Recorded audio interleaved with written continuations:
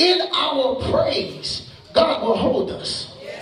In our praise, God will shape us. In our praise, God will mold us. Sometimes the best way to make a believer believe is to live it. Saying it don't always say something, but living it will say a lot.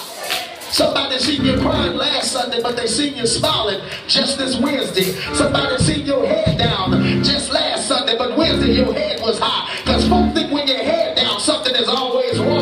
But when you hold your head up and there's not a tear there, they know God is doing something. How does all of this tie into what we studied in the first reading?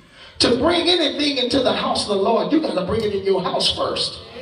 Before you can build what God has had for us to build here, you got to build it at home first. When the money is not in the church, you just think back to when the money was not in your house. And you just praise God right then in there and see that he will show up and show out. Your praise will make a way out of no way.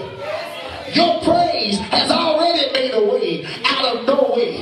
Your praise has already held on to you when you thought you was about to go under. Your praise has already turned it around for you when you felt like you could not make it. It was your praise huh, that took you from walking to riding. It was your praise huh, that told your hater, be quiet. It was your praise.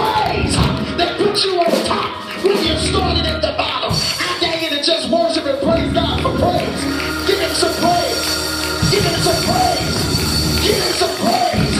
He's worthy. He's worthy. The devil will know that God gave the victory. And he's gonna let him know. He's worthy.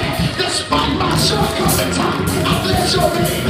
Despite my setback, I bless your name. Satan is a liar.